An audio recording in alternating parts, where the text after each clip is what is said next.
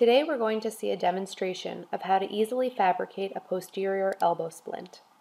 This type of splint can be challenging due to its size and the length of the material. This video shows some great techniques for making an accurately sized pattern to avoid material waste and proper positioning of your patient to maximize control of the material during molding. To make the pattern, measurements are taken circumferentially around the humerus and the forearm. Using a tape measure, note one half the circumference of the proximal humerus and write this number down for later use. Next, measure similarly at the elbow crease, then midway between the elbow and the wrist, and lastly at the wrist crease. One additional measurement from the midpoint of the proximal humerus along the posterior elbow and down to the wrist crease will be used to determine the length of your splint.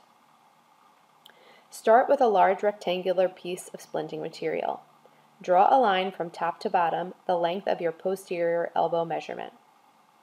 This is for the length of your splint. To determine the width, use your circumferential measurements, drawing a line at the top of the material that is the length of your proximal humerus measurement. Try to center the line with the width of the splinting material. Move down, draw lines using your distal measurements to create an inverted pyramid shape. Connecting the ends of the lines, you should be left with a tapered pattern that should fit your patient properly when cut out. After cutting out your pattern, position your patient in supine with elbow flexion and shoulder internal rotation.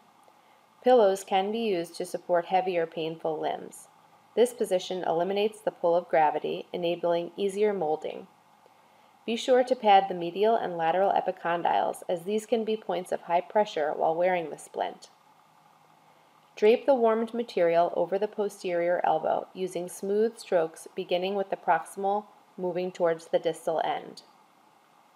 When forming the 90 degree flexed elbow position, you should dog ear the material at the joint and smooth the edges distally. Once hardened, remove the splint and repurpose the pads, transferring them to the inside of the splint at the medial and lateral epicondyles. Replace the splint and measure where your straps will go.